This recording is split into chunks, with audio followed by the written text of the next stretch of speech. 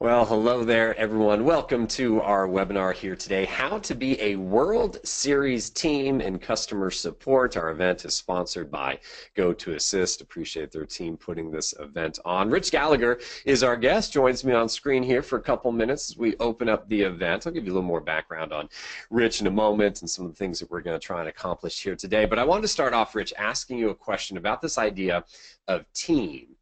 Mm-hmm. And in an ideal world, if everything fell into place, what would the ideal kind of customer support team look like to you? How would it ultimately be structured? Well, that's a great question, James, and it really ties into some changes in the philosophy of how you coach winning teams in baseball and in customer support. When a lot of people think about having a great team, they think about being a strong leader, but in reality, my experience and the experience of a lot of behavioral science is that your success really lies in building confidence and skills in the team members themselves, and pushing as much responsibility and authority down to the team level as possible. So, in a sense, your goal is to not just be a good coach, but to have a team of coaches. Awesome. And folks, as we go through, you're, you're going to hear this kind of baseball theme throughout the presentation. And uh, the only background you need to know about me, James Hilliard here, your moderator, is that I also do a whole lot of youth sports coaching, soccer, but tons of baseball, Little League Baseball I'm affiliated with. And so um, I'll share some little stories, and, and, Rich and I have had the opportunity to in the past. So we're, we will bring in some of those, and we'll be talking again a lot about teamwork, and, and baseball is going to be a running analogy here as your moderator here, um, I'm going to be keeping an eye on a couple of things, including questions and comments. So I want to invite all of you out there, Michelle, talking to you, Lynn. I want to invite Amy, you as well, Jim, and everyone else on the line here, Tammy, Val. I see you coming on board. I invite you all to submit questions and comments anytime during the presentation. It might be something you're struggling with with your team maybe you just need us to clarify something. If you want to add, maybe it's a good little tip or something that has worked for you to add that, right? We can discuss it. So get that into us early and often. You can also follow us on Twitter. We'll put those up on the screen. I will also, in just a moment here, copy and paste those out to you. But at GoToAssist, of course, so you can follow our sponsor at Gallagher POC belongs to Rich Gallagher and his point of contact group. Uh, I'll give you a little more background on him and then Hilly Prods if you need to reach out and follow me at all. But uh, Rich is with us. We're glad to have him back on board. Uh, he is uh, several things. He has been the leader of some of these customer support teams that we're going to be talking about. So he has actually practiced and done that. These days, he gets out there and does trainings and helps teams become really those World Series teams that they want to be. He's also a practicing psychotherapist in the great state of New York, which uh, goes a long way in helping him not only in that venture, but also in the customer support area uh, as well. So uh, lots of good information that we're going to be hearing from Rich here today. Again, a couple polls that are going to pop up, all that. What I'm going to do right now, this is not a glitch. I'm going to turn off the webcam so we can focus on the content that Rich has uh, planned for us here today. And then if we have the opportunity, we can pop these back on during the Q&A. But with that, Rich, I think we've given you uh, control of the slide deck, sir. So I want to turn things over to you, and we'll, uh, we'll dive on in and keep going on this idea of how to build this great team. Okay, well, thank you, James, and it's a real pleasure to be with all of you today. And this is a subject that's very near and dear to my heart. Um, I spent a lot of my career managing customer contact operations in the software industry. Uh, I had a track record of dramatically turning around the performance of those operations. In more recent years, I've written several books on workplace communication skills, as well as one of the first textbooks on managing customer support operations. And that leads me to the first point that I want to make today about our theme of building a World Series team in customer support. And that's that baseball isn't just a cheesy metaphor for support teams. If you've been around the webinar business for a bit um, as an attendee, you've probably seen a lot of sports metaphors about how to have a winning team in the X. And often it's used as sort of a loose metaphor for attitude and motivation and performance. In reality, because remember, I'm a psychotherapist as well as a former support manager, I find that there's a lot of fairly recent and fairly common behavioral science in the management of a successful support team or the management of a successful athletic team. I'm going to be covering four key areas today in terms of coaching, metrics, training, and also customer care that really are factors in having a successful support team. But it all boils down to the fact that your team in customer support is managed by much of the same things as professional athletes, which is success and professional recognition. And they're turned off by the same things, which unfortunately are part of the daily grind of support, like metrics, micromanagement, and having their failures pointed out to them. And I have found, again, looking at a long history of turning around the performance of good teams, that the same team skills drive the success of both teams, which is coaching, uh, workshopping common problems as a team, and an incessant focus on the mechanics. Um, I love doing these webinars here with uh, James Hilliard because he's not only a baseball coach in Little League, but he is a really good coach. He truly gets a lot of the mechanics of motivating kids to have fun, learn, and do a really good job. So before I get to teaching anything, I just want to pulse you folks in the audience and ask you folks, of those four areas that I brought up, what are some of your biggest challenges in managing support teams? I'm going to hand things back over to my lovely assistant James, and he's got a poll up for you now. We do have that poll up. If you choose that bottom answer, something else, right, is your biggest challenge that's not listed there. We've listed coaching employee performance, keeping up with those metrics and milestones, the issue resolution, dealing with customer situations. But if you do that something else, go ahead into the question area and let me know what is your something else. Rich, I'm going to flip the switch and turn this poll back on you and, and see that over your, your, your career when you were managing teams or when you're in there helping teams these days. Is there one of these that you still come across your kind of biggest challenge? Absolutely. Since I'm actually running this webinar, I actually get to pick two of them. And, uh, okay. so I'm going to pick coaching employee performance because we're going to talk a lot about this in just a few minutes. But moving from a fear-based environment where people are afraid of getting caught or punishment or looking bad to a strength-based environment where everybody feels respected and looked up to and we focus on helping people play their strengths. That was the bedrock of the kind of performance transformation that we saw. And then the other one I'm going to pick is the last one, which is dealing with customer situations. At the end of the day, technical support really pivots around how good a customer feels with their interactions with you. We had an incessant focus on learning how to handle your very worst customer situations. I'm showing my age here a bit, but uh, I I'm a big fan of a show called The Addams Family, which was a, a television show back in my day about a creepy family. And uh, Uncle Fester would say, "It's a gloomy day. Let's go for a drive around the cemetery." My equivalent to that was I'd, workshop how to handle your worst customer situations when we had a really bad customer on the phone. I'd gather people on the speakerphone. So I see we've got our results up here, and uh, this is not a uh, a surprising distribution here. So of the folks that are here in the audience, uh, some people talk about coaching customer situations like me. A lot of people are talking about metrics and milestones, almost two-thirds of you. And uh, that's something I have some very strong opinions on that we're going to speak to in a few minutes. So this is right down Broadway what I want to be talking about today. So let's park that for a couple of minutes, and now I want to first focus on the whole question of coaching people like a champion. And this is, as I hinted before, a matter of great misconception among both sports team leaders who aren't used to it and also support team leaders. And the metaphor I'm going to use is this man pictured here, which is Joe Torre. I suspect most of you have never been booed by 300 people at a speaking engagement. I have. And my advice to not do that yourselves is don't mention your Joe Torre stories while you're speaking in Boston, like I did at one point. Uh, I survived that experience, but this actually is a very good metaphor. Joe Torre wrote one of the best books ever written on strength based coaching, which is uh, a strategy that I'm going to focus on here. It's not a communication skills book, it's a sports book. The book is called Joe Torre's Ground Rules for Winners.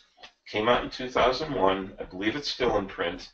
And uh, if you're as interested in the mechanics of coaching people as I am, I highly recommend that book. The thing about Torre is that, as you know, he led the New York Yankees to four world championships around the turn of the millennium. And he wrote a book that laid out in great detail how he managed to motivate egotistical, highly paid superstars to pull together and perform as a team. I sometimes refer to this as sort of the all-star team effect just having a bunch of talented individual contributors does not always mean that you're going to have good performance as a team. And Torre's view is that a strength-based approach where even when they're messing up, even when they need coaching, even when they need to have their skills built, when team members always feel respected, valued, and have a voice, this is when they're going to perform at their best. He gives a lot of great stories about in the in the depths of the World Series how individual players would uh, get down on themselves because of how they performed in the last game or because they were or weren't in the lineup, and how he used his gut to try to build people's confidence as his first way of working. The other thing that's very important to know about Joe Torre is that he grew up in a verbally abusive household, as he laid out, out in the book. And one of the things he took away from that that uncomfortable experience was that as a coach, he doesn't yell at people. He doesn't get up in the clubhouse and give motivational speeches. He gets hundreds of tiny little troubleshooting discussions um, with people that are positive, they're strength based, and they never shame people. Here's a very quick example of how Joe Torre manages his team. 20 years ago, if somebody coughed up two home runs and was losing the game, the typical manager would go out to the mound and say, if you don't get your act together, I'm going to pull you off the mound. Torre would go out to the mound and say, I notice your foot fastball is dropping a foot closer to the plate. How's your arm strength? Do we need to tweak your delivery? You know, uh, how's your mechanics here? Or are you running out of gas? Do we need to bring a reliever in.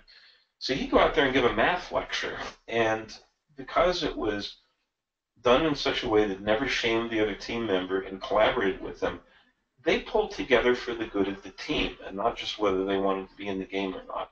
And that was a very key part of Torre being very successful as a coach.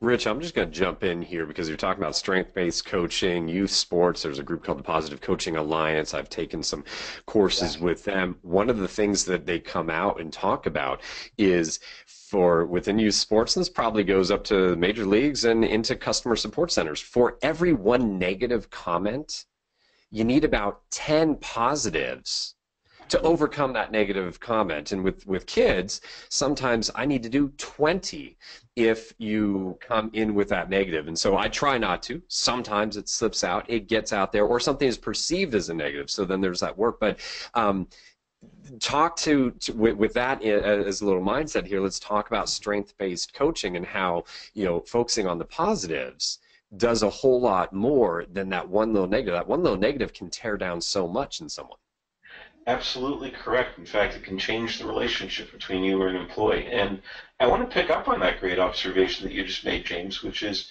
you know, how you have to recover from negative comments.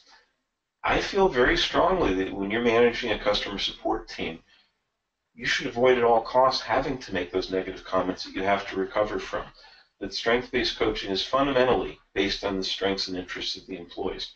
Now, I was a working support manager for many years. I, I respect and understand the world that you live in. I realize that sometimes you have employees fighting with each other. Sometimes you have employees who say unfortunate things to customers. Sometimes people don't seem to be working as hard as they could be working. And I'm still going to say that a fully strength based approach that's based on building skills and not finding mistakes, and that actually normalizes failure that when somebody messes up with a customer or struggles with something and doesn't work hard, that you paint that position as that of a totally reasonable person and then co-create new skills and new competencies with them. I'm going to say honestly, James, just to compare notes with you, in all the years that I managed support teams, about seven or eight years in total, uh, Anyone who worked for me for more than five minutes knew what high standards I had for how we treated our customers and how we treated each other.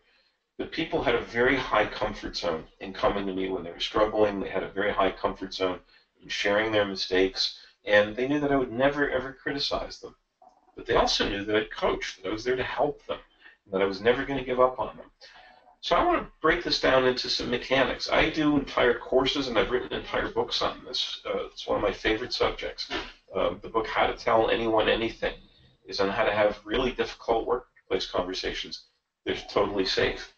But I want to give you a very quick summary of the mechanics of how you do strength-based coaching. The first part of strength-based coaching is to always start a conversation in a safe place. So let's say somebody uh, says something unfortunate to a customer. Once I had a situation where uh, one of the key people in my team was on the phone with somebody who was talking incessantly, wouldn't let him get a word in edgewise. I happened to be monitoring the phone call, which was an accepted practice in our call center. And at one point I heard him say, Will you shut up so I can help you? And when I then touched base with that person afterwards, I came in with a big smile on my face and I said, Wow, that customer must have really been frustrating you. I would have been really frustrated with that too. So I put myself at eye level and then we workshopped the mechanics. What I did after that was I said, you know, you know, boy, I could tell that one was really frustrating you. She would have frustrated me too. Why don't we do a little role playing here? Why don't you talk to me the way that woman talked to you? And he played along and role played, and I shut him right down. And then taught him the mechanics of how to use what I call the acknowledging close, enthusiastically acknowledging her, asking binary questions, and taking control of the conversation. My point here is I never shamed him. I never told him he shouldn't have acted that way. I never said, How would you feel if somebody said that to you? It was positive, skills based, and with a big smile on my face, and it worked. So you start in a safe place with saying things like, Wow, that looked really frustrating. Tell me about it. Walk me through how you do this. Or let's say somebody does something really stupid. You might use what I call the I technique, which I call how to tell someone they're stupid without using the word stupid in the sentence. You know, when I did that, that didn't turn out well for me either. So start the conversation in a safe place, workshop those safe openings before you dive into the conversation. If you do a good job at that, then you're hoping against hope that people will then start working harder or showering more often or being nicer to customers forthwith. What's probably going to happen instead is that you're going to hear their side of the story their excuses, their rationalizations. And you're going to hit what I call the oh my gosh moment, which is what do I say now? And I want you to change that perspective from what can I say to what can I ask? Because I want you to take a learning posture towards people and realize that hearing their side of the story is awesome. So ask good questions to learn how they see the world, which leads me to the third and most important step. This is where strength based coaching lives or dies because it goes totally against our human nature, and most people don't do it, which is normalizing the situation. Normalizing is a mathematical term. It means doesn't mean you approve of something or that it's okay. It means that it meets a norm for the other person. Your job here is to paint their position as that of a totally reasonable person. So you're going to acknowledge and validate whatever view of the world that they're putting out there and say, absolutely, I totally get why you were frustrated. I can see why this is hard for you. You know, and it makes perfect sense that you're falling behind on your backlog because, you know, look at all the stuff that you just mentioned here. Then what you do is you can be as firm as you want with your boundaries as long as you're neutral, factual, and invite the other person to problem solve with you. This works best when there's an incentive for the other person and you make it a skills based approach one of my favorite lines with people when they would say something unfortunate to a customer is I would tell them, you know, if I were to call Microsoft or Hewlett Packard, I'd probably hear exactly the same thing that I just heard you say. It's probably what 98 out of 100 people would say. Now, here's what the best of the best do. How would this sound rolling off your tongue? Give this a try. So incessantly using a safe, collaborative, skills-based approach makes a dramatic difference in how people perform and gives you your very best chance of creating behavior and performance change in other people. So these aren't just rules that I just made up. Um, circling back to Joe Torre, when Joe Torre was in the playoffs one of those years when they won a championship against Lou Piniella's Seattle Mariners, and Lou Piniella's Mariners lost, and Torre went on to the World Series. Uh, Sweet Lou, as they called him, is one of those old style, yell at everybody kind of coaches. And he gave a very powerful interview afterwards saying, I'm, I'm a coach from the past. This is the way we used to coach people. The way Joe Torre coaches people is, is coaching of the future. And that's working better nowadays, and I have to learn from that. And if you look at the psychology of almost any sport, whether it's uh, Tony Dungy, who took the Colts, Colts to the Super Bowl, Phil Jackson, who won more basketball championships than anybody. Uh, all of them used a fully strength-based approach that was very well documented to lead them. Which now leads me straight into the area that you folks brought up as your biggest struggle as managers, which is dealing with performance expectations and performance metrics. Something I have very strong opinions on and something that ties in with our strength-based philosophy. I honestly believe that metrics are the single biggest force for ruining motivation, ruining performance, and ruining the customer experience. Those of you who've been in support for a long time know from your own experience that if you emphasize things like first call resolution, then nobody escalates a call. You know that if you emphasize average handle time, then suddenly people get pushed off the phone with bad answers. And there's a perfect baseball analogy for this. And this is what I call the quality start. So as you know, if you follow baseball, that a pitcher's one win and loss record is not the best metric of how good a pitcher they are. Very often, the Cy Young Award, which goes to the best pitcher of the year, does not go to the pitcher who has the most wins. And every few years, I went back and looked at the records before this webinar. Often, the Cy Young Award goes to a pitcher that has a surprisingly small number of wins.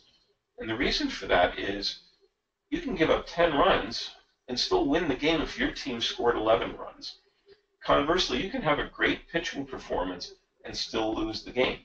There was a famous game, Harvey Haddix of the Pirates pitched a perfect game through nine innings, which almost never happens, and he still lost the game in extra innings because his team never scored any runs, and the game went into extra innings and they lost. So in baseball, they have a, a metric called a quality start, and that's a much better metric than wins and losses. A quality start is a composite metric that involves a pitcher completing at least six innings of the game, which meant they lasted through the majority of the game, that they give up no more than three earned runs in that time, and uh, whether they won or lost the game, that's a measure of how well they did.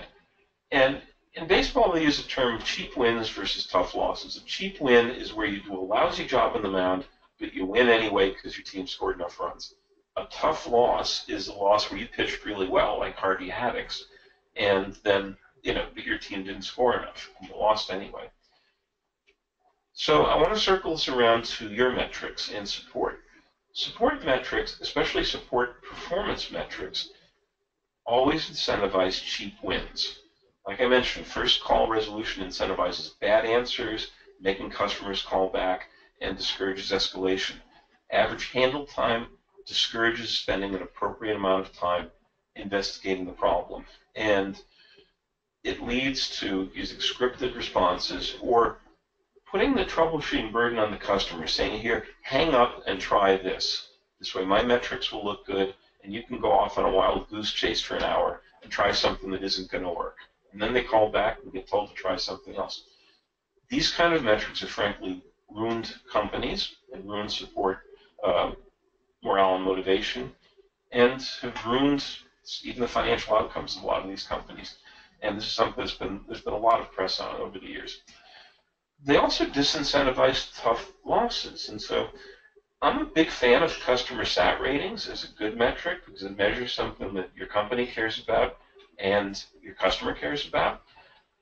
But even customer sat, if you rank people on the customer sat ratings, that disincentivizes those people who handle the tough cases where somebody might not be as happy. And so, again, my, my key here is that I'm not against performance metrics. Some people feel like no metrics is like a university without grades. I also realize many of you have metrics imposed on you, and I respect that as well. But used as a visible public metric in front of your team, they almost always hurt the quality of your team. So my solution to this is what I call a quality support start, which is was the case reopened? Because um, case reopening is a good measure of whether you did a good job in the eyes of the customer or not. Um, in terms of resolution time, I not only want resolution time to be short for trivial problems, I want that resolution time to be long enough for uh, I want that resolution time to be long enough for the problems that really need that kind of attention. I want to see appropriate escalation. So again, turning this around to first call resolution, I want first call resolution to be low for simple problems, and I want it to be, or I want it to be high for simple problems. I actually want it to be low for difficult problems. I want calls to be escalated to the right experts so that the customer is happy and that we're working efficiently. And then, of course, there's the external metrics that the customer weighs in on, such as comments on social media. And social media hasn't been as big a deal in customer support as we once thought it was a few years ago. However, the important takeaway from social media that has stuck with us is that we don't do our work in secret anymore. If we give somebody a bad customer experience, it used to be just a question between us and the customer and maybe their families and friends. Nowadays, there's a public spotlight on how well or how badly we do support. Uh, there is a clock sitting over my webinar as we speak. It's ticking off the time, and I'm keeping an eye on our time together today. And the first clock I bought was defective. And when I wrote the company about it, they said, sorry, you have to come back from 200 miles away and return to our store physically with an ID, because who knows who's returning these clocks. So I posted a video on their social media site uh, with a video of the defective clock, telling them how I'd been treated. And the next thing I knew, I had a new clock FedEx to me. So we work in the public eye more than we used to. The other part of quality support start is your customer sat ratings or your net promoter scores, because that's the ultimate measure of how well you deliver the product that you have in a support center. Rich, do we, before we dive deep into the mechanics here, uh, do we as a team, as a manager, do we kind of publicize this idea of our quality support start? Do we let this be known that this is what we expect, or is this behind the scenes that management kind of hangs on to, but the the team itself doesn't know? How how do you kind of coach people on that front? That's an awesome question. I'm going to break that down to what I call primary versus secondary metrics. Primary metrics are metrics that I'm okay with publicizing because these are things that matter to you and matter to the customer. I'm absolutely okay if the team knows what your aggregate customer sat rating is. I'm absolutely okay if a support team knows what your costs are or what your sales are. These are that's the lifeblood of what you're doing in the company you're working in. Performance metrics are what I call secondary metrics because they don't matter to the customer they don't even necessarily matter to the company. They only matter to you because they tie loosely to your costs. And I recommend the secondary metrics. These are your time in seat, average handle time, first call resolution. I think those metrics should be hidden behind the curtain. And I think most people on your team shouldn't hear about these metrics unless they vary far from their norms. What's important about that, and I'm so glad you brought this up, James, is that when you have too many metrics, everybody fails at something and that has an impact on your team performance. I want everyone to come into work in the morning and feel like they're doing an awesome job, unless they're far off the norms and they need some positive strength-based coaching. So, um, so my advice is, yeah, you expose the important metrics, the primary metrics, but the performance metrics, you you keep those behind the curtain and use those as a coaching tool. All right, good stuff. Let's, folks, we're going to move on to that third out of the four parts Rich is going to go over here. The looking at mechanics. Again, you can keep your questions and comments uh, coming in. Another poll coming up in just a moment or so. And with that, Rich, let's uh, let's dive into this idea of these mechanics. Okay, so back in our first polling question, speaking of which, when I mentioned there were two things that really made the difference for me in terms of biggest support challenges, the first was the first point that we talked about strength-based coaching, which is counterintuitive for most people and takes practice, um, when you use that, that is a bedrock for changing the motivation and buy-in for your team. On the other hand, uh, I found that the thing that made us really awesome at what we did was focusing on the mechanics. This gets to two areas, which is uh, your skills and your tools. But before that, I've got an audience poll for you. Again, folks, that has been launched, so you can vote in on that. The question here when the Detroit Tigers narrowly lost the 2006 World Series, what did manager Jim Leyland feel most needed improvement? Was it, and this was him out there talking to uh, the media, first kind of question asked him, was it, hey, we need to improve uh, motivation of the team, we need to improve the discipline?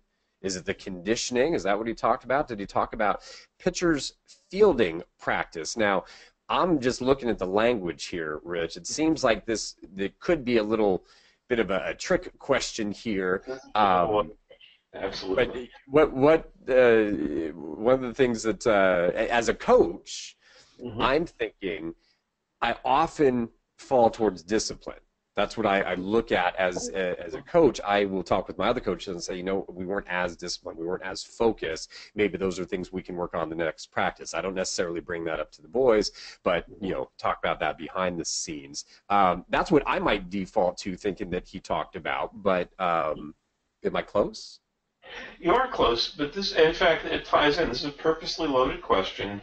Um, I put it up as a polling question, not just to pulse you folks in the audience as to whether you're guessing correctly, but leading into a story I want to tell. And uh, while you folks are voting, I just wanted to pick up on what you were saying, James.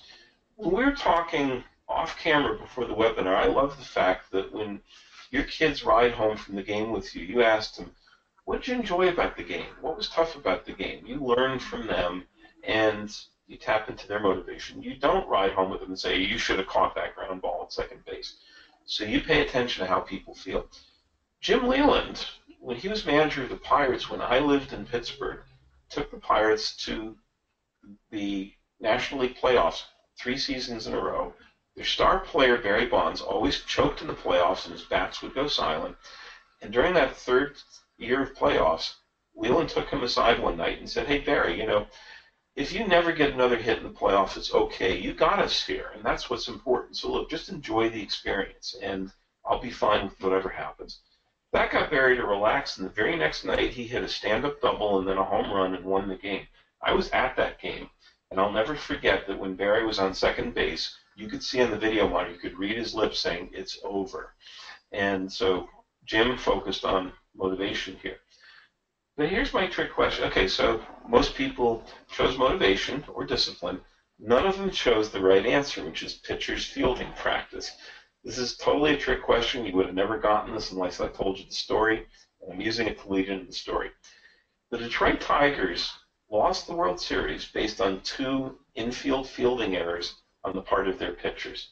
And so when Jim Leyland got up in front of the press after losing the World Series, and I watched this on TV, the very first thing he talked about was when we go into spring training, we're going to focus on pitchers' fielding practice. And so the point I want to make in this story is attitude, motivation, even preparation are all fine. Uh, but at the end of the day, you live or die in your mechanics. And that's what I want to talk about next here is how to focus on your mechanics. And uh, so good performance is not just a matter of skills, but building confidence in those skills. And in a support team, you're juggling a lot of balls. You have to know your product, obviously. You have to become experts in how to work with difficult customer situations. You also have to know all the internal processes of your own company in terms of how to escalate and how to deliver things.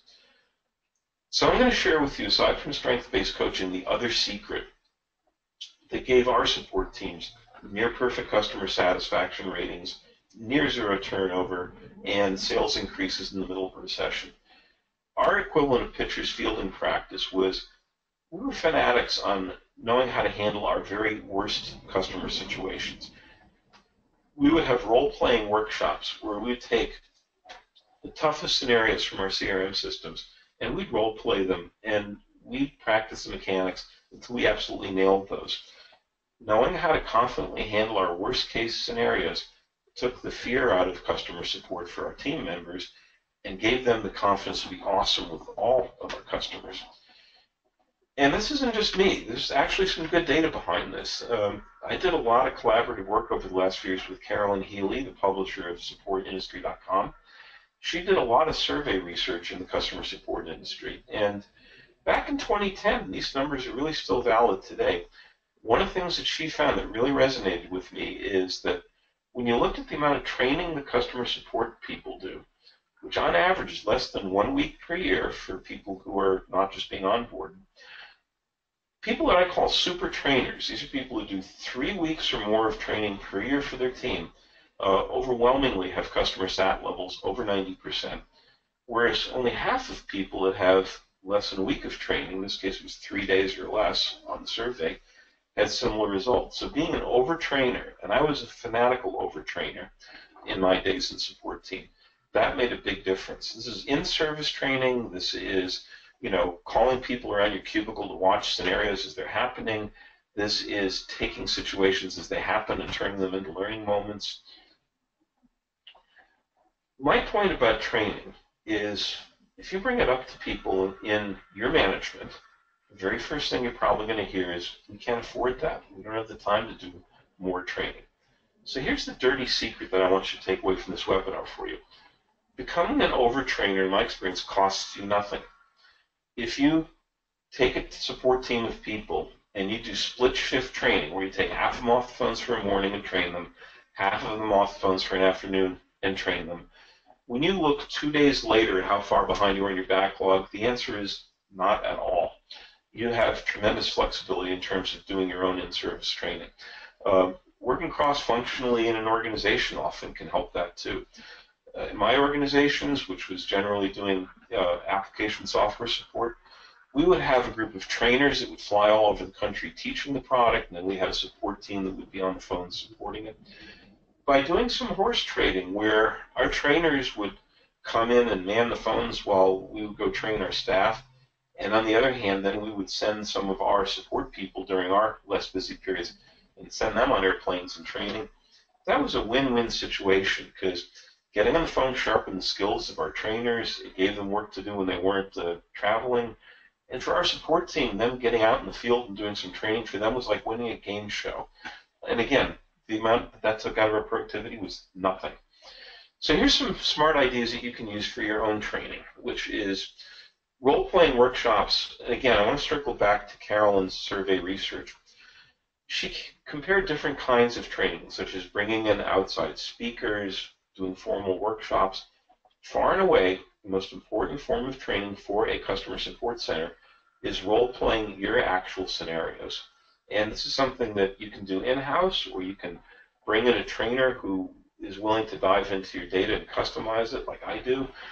What you want to do here is go through your CRM data, look for themes, look for stuck points where people struggle, and look for your ugliest, hairiest situations, and then role play those situations. I did regular work role playing workshops with my teams, and over the years that I was there, I noticed something interesting. At first, I was doing all the coaching, but very soon, it was the team itself that was doing the coaching. And so you want to leverage ta- talented peers to take on that coaching role. I did a lot of flash training on specific techniques. So if something would go wrong or something would go bad, we get the whole team together at the next meeting and workshop in a really positive, humorous way how to handle those things. Um, having people gather around speakerphone when you've got a difficult customer, watching you put your head in the lion's mouth, very powerful way of building confidence with people because they're watching me or other people with a smile on their face saying, watch me handle this. And then, again, like I mentioned with the trainers or other teams, you know, positive, constructive, cross-training, cross-functional approaches where you're leveraging their strengths to do training. Or you're maybe sometimes embedding your staff into other teams so that they become experts in the product or experts on how to use or teach the product that can be very powerful for both people. Hey, Rich, I want to jump in here. Back in February of this year, on the 17th, you and I did a webcast, and what we focused on was we did some role playing. You put me in the position of I was a customer, and sometimes I was angry, sometimes I was passive, whatever. And I thought it was a really cool example of what some role plays can do. Now, David is helping us out from the GoToAssist team. Uh, I'm going to see maybe if he can find a link to that on the archive pages, but uh, I'm sure if you all go to gotoassist.com, you look under the resources, there are additional white papers, there are archives of some previous webcasts, but that would be one I think to look for because it gave, I thought, a great example of what some of these role plays could be. That that was that brings back fond memories for me, James, because you know I, the genesis of that goes actually back before February. The December before that, we did a garden variety workshop on handling difficult customer situations. As you know, that's something I write and teach about a lot. And at the very end of that webinar in December, you tried a, uh, a scenario with me live and impromptu. And people on that webinar, we had hundreds of attendees, they loved it. And in the comments we got afterwards, they were saying, do more of that. And so that's how we came up with that February workshop where we just played stump the chump with each other. I will tell you, folks, that James is a world-class difficult customer, and he's had such a good time on that. So absolutely, and uh, bring that whole philosophy into your own organization. Have fun with it, and uh, and uh, you know, get your team learning as a group for how to handle those worst-case scenarios.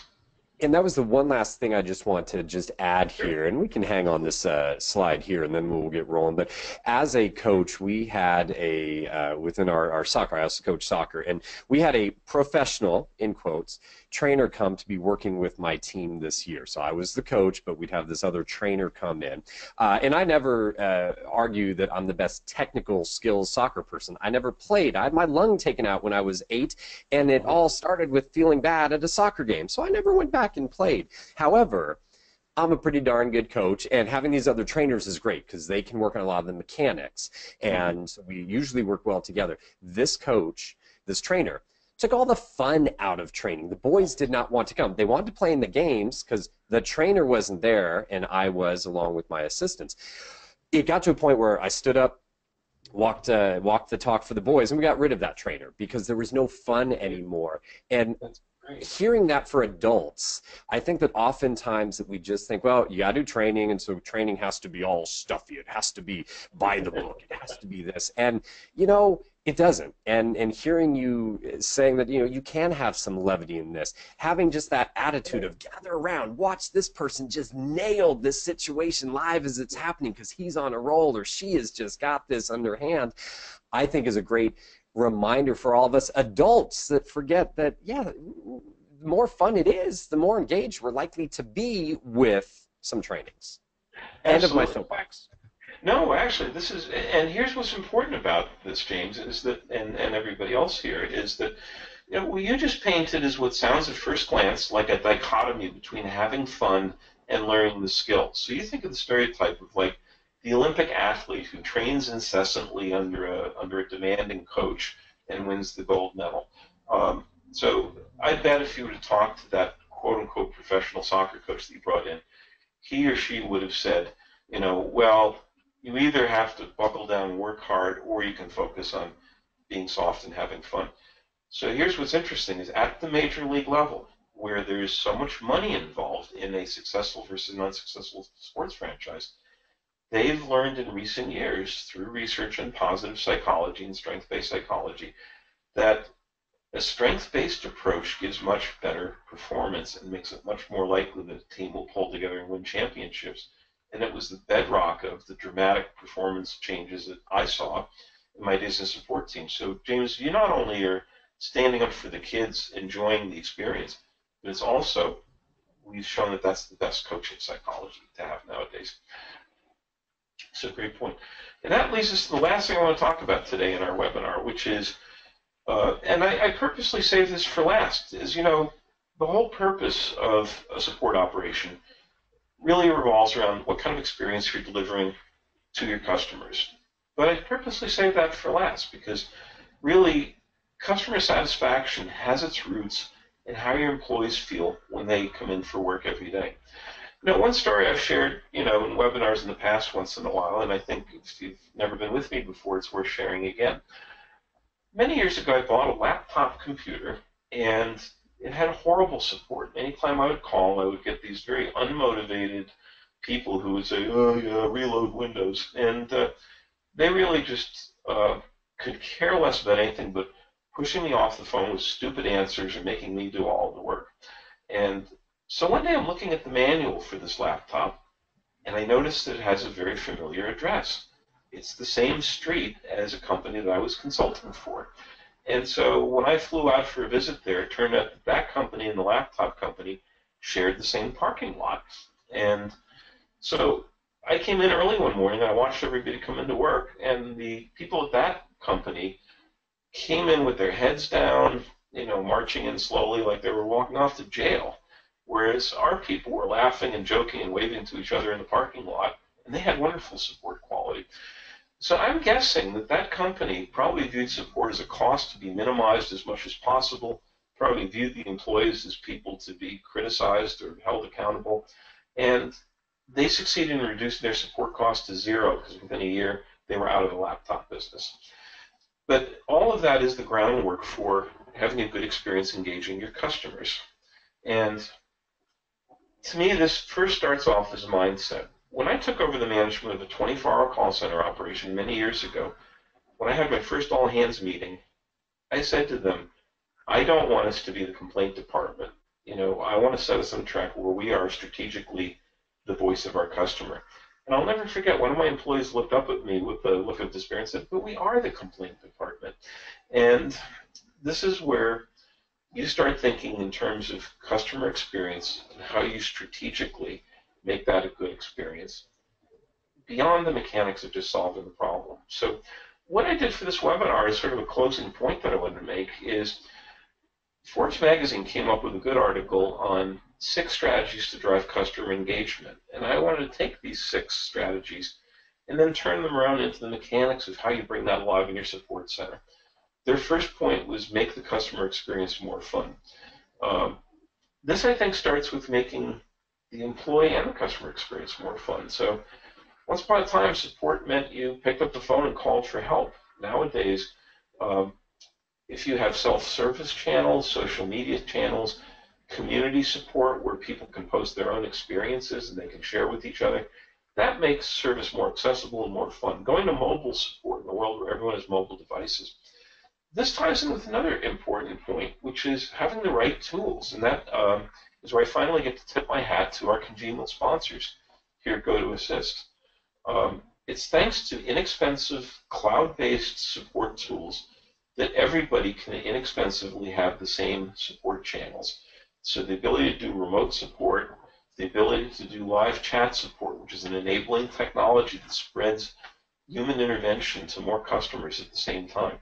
Um, all of the having you know knowledge bases at your fingertips.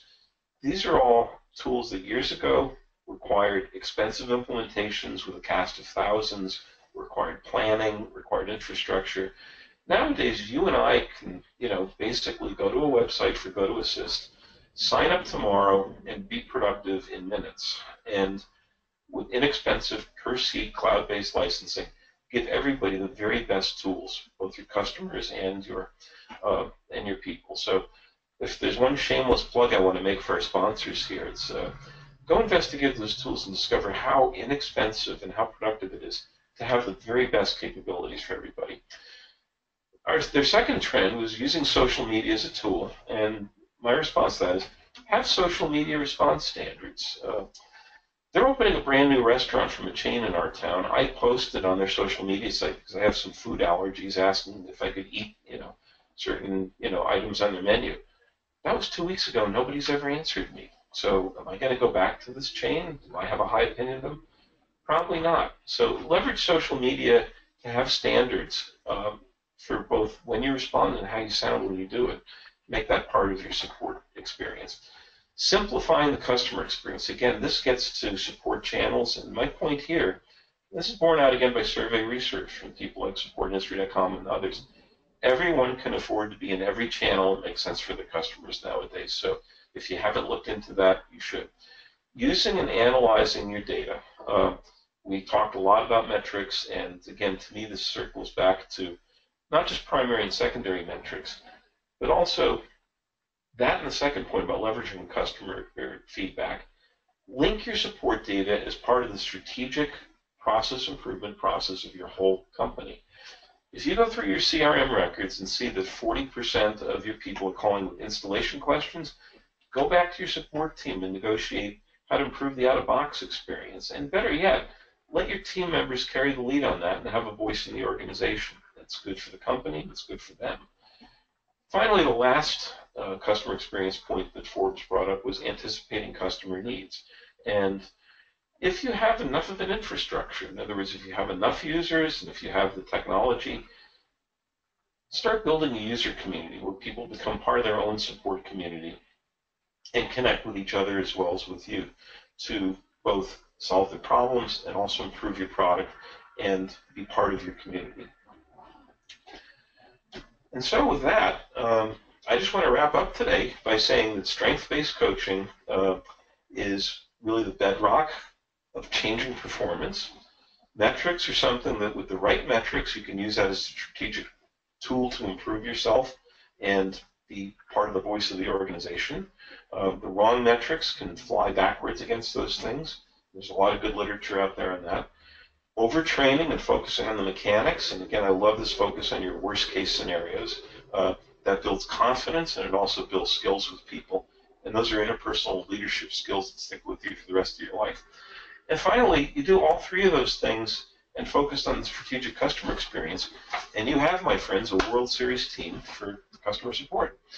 So with that, I'm going to turn the mic over to you folks in the audience and to you, James. Um, see if you folks have any questions or any feedback. Yeah, absolutely. And again, folks, uh, we have been recording. One of the questions was, have we recorded this event? Is there an archive? Absolutely. So we're going to get those reminder emails out to all of you. Also, I mentioned David from the Go to Assist team is on board with us. He came through in a big way. He found that archive, Rich, of those uh, worst situations. It was solve your worst support yeah. situations. So he put that link out to everybody in the chat tab. So you have access to that. So I encourage you to do that. Also, he put out a link about uh, free trial for Go to assist if you're interested. So you can follow those links that David shared. One of the buckets of, uh, I try and collect buckets of questions that come in. And one of the ones that was, uh, the ideas floating around in our Q&A is the timing, right? Mm-hmm. Oftentimes, unless through free agency, people go out and buy a ton of great players, and those uh-huh. great players come together uh, emotionally, and they have the same respect for each other. It's not all those egos. Maybe you can go from worst to first, but it doesn't often happen overnight. So I'm going to bring up the question here of what type of patience does a manager have to have? How long might it take to build a World Series team? Because I doubt it's going to happen three months from now. If someone's listening to us today and starts implementing these things, it might not be three months, but they're going to be better in three months than they are today. Mm-hmm.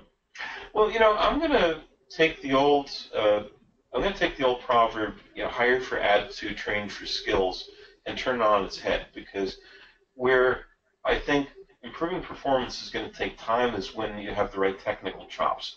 Those either again you import the right talents or you have to build those talents slowly over time.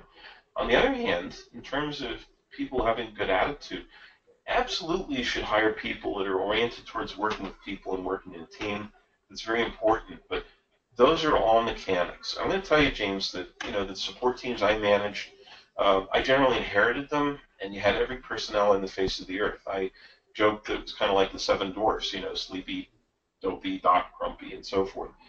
When I found that we taught people the right customer skills and you use a strengths-based approach within a very short period of time, I'm going to say three months. It's funny you put that uh, that that stake in the ground out there. Within about a three-month period, everybody sounded awesome. And we lost the sense of Joe's good with people and Sally isn't good with people. Everyone was great when they learned skills. So, um, so I, I think if you're going to focus on, you know, what kind of skills you want to build over time, focus on people's technical chops because that's, I think, a big part of the, the good customer experience. And uh, look at your own good coaching skills uh, for the soft skill side of things. That can come along a lot quicker than you think the customer service survival kit still getting a lot of love out there. It was penned by Rich. Rich, how uh, this is uh, it still trends well, and yeah. and people are still picking it up. This was a, a kind of a, a, love for you, and and Absolutely. people can still pick it up. Amazon, anywhere online. Anywhere on Amazon. The two books that I want to recommend is the Customer Service Survival Kit, which is on how to handle your worst customer situations. This book launched at number one in 2013 still bounces in and out of the top 24 years later. Um, I'm really proud of that book, and it's it's all neat on how to handle your worst customer situations. Uh, the other book I'm going to mention just quickly is How to Tell Anyone Anything, which is a uh, book that focuses on how to do strength-based coaching with your employees in difficult employee situations. Uh, both of those are still selling well. I'm going to tell you a little secret for those of you who are listening to the webinar today. Um, my publisher has put the Kindle version of How to Tell Anyone Anything on sale for $3. So uh, if you want to get a really cheap look at the strength-based coaching we're talking about, go spend three bucks and get, get a copy of How to Tell Anyone Anything. Awesome. Good stuff, folks. I just chatted out one more time. You can follow Rich on Twitter at Gallagher POC. Really do appreciate all of you taking time to join us for the event. Look for the reminder email. We'll bring you back to the archive. Share that with folks that you think can benefit. A short little survey pops up when we close things down, so appreciate your feedback on that. Again, I appreciate Rich being on board. Thanks to the, uh, the GoToAssist team for sponsoring today's event, getting Rich on board, and getting all of you out to this event. Really do appreciate it. It. With that, we are going to wrap things up. Again, my name is James Hilliard, and we do look forward to talking to you all down the road.